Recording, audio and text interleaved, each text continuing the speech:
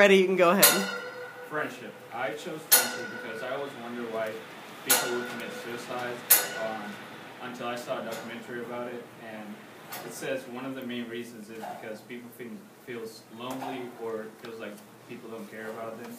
So they feel the necessity to kill themselves or commit suicide.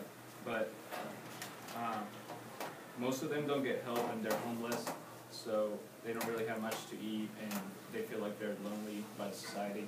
So um, they also find drugs to, uh, as their way out because they don't have anybody anybody to be around with, and some of them can die on uh, overdose too, and some of them escape, escape from uh, their houses because uh, their parents don't show them love or care,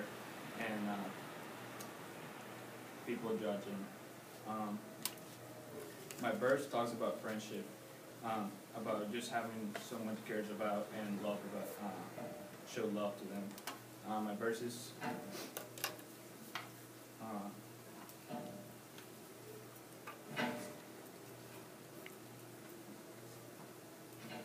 verses Luke six thirty one. Do others as you would do them, uh, as you would have them do to you. As as you know, it talks about friendship, and according to uh, the Lutheran Study Bible, uh, it was written for all people in general, but um, it affirms that it affirms the Theophilus in the Gospel of Jesus, and um, as you can see in your handout, you can flip it over. I those are one of my three uh, crossbacks. Um, Reverse explains why this book uh, talks about friendship, teach wisdom to people, and it's pretty short. It's a short version, clear explanation, and easy to remember for people. Um, it deals with life principles, good, uh, good judgment, and perception. On Proverbs, oh, you can flip it over now. And verse 19, uh, 4 to 5, it says, um, Wealth brings many friends, but a poor man is deserted by his friend. A false witness will, will not go unpunished, and he who breathes out lies will not escape.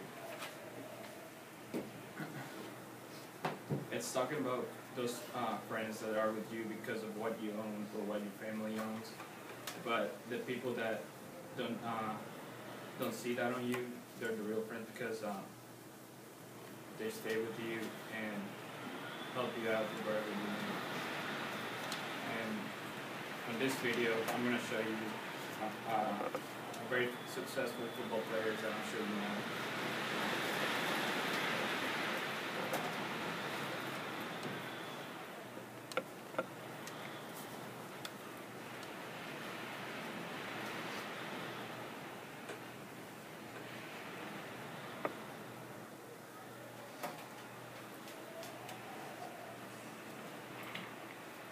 2006, the life story of NFL offensive tackle Michael Oher was introduced in Michael Lewis's book, The Blind Side, Evolution of a Game. I think Michael Oher's story really tells us that anything is possible if you're given opportunities and allowed to believe in yourself.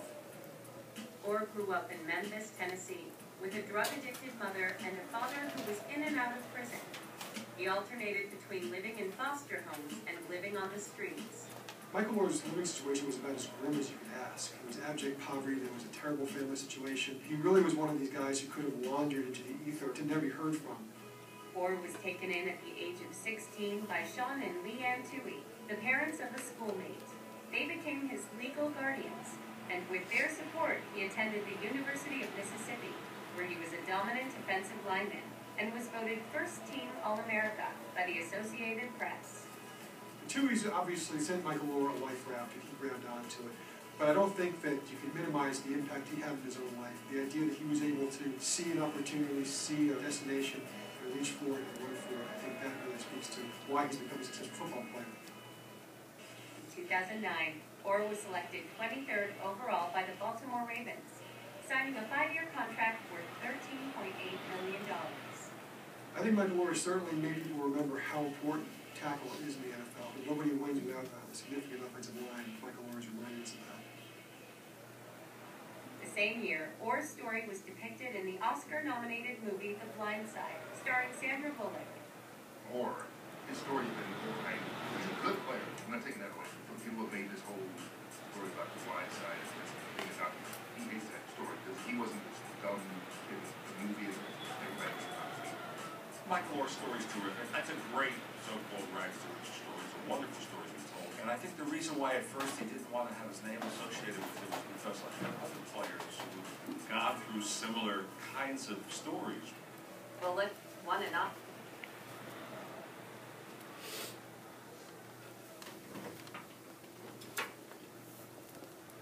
As you can see, Michael Oher is a, was a successful football player. Still, is. As you can see, he did not have a normal childhood that as most of us did. Mom was always under the influence of uh, alcohol or uh, drugs, and his dad was uh, always in prison.